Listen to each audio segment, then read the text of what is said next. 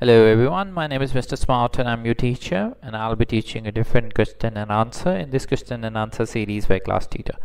So our today's question which we'll be discussing is which four statements are true about time tracking and billable time in QuickBook Online? We have some options here. Now one option we have weekly and single timesheets are available. The starting day of the work uh, working week can be changed. A maximum of 24 hour per day can be tracked for an individual. Employee hours for a pay period flow to paycheck if using QuickBook Online payroll.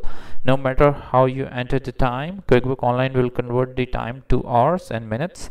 Employee and subcontractor can never see and edit their billing rates in the QuickBook Online. Unlimited time tracking users can be invited to enter their own time in all subscription levels of QuickBook Online. And the answer of the question is here are the four true statements about the time tracking and billable time in QuickBook Online. Number one is weekly and single timesheets are available. The starting day of the working week can be changed. A maximum of 24 hours per day can be tracked for an individual. Employees or for a pay period flow to paycheck if using QuickBook Online Payroll.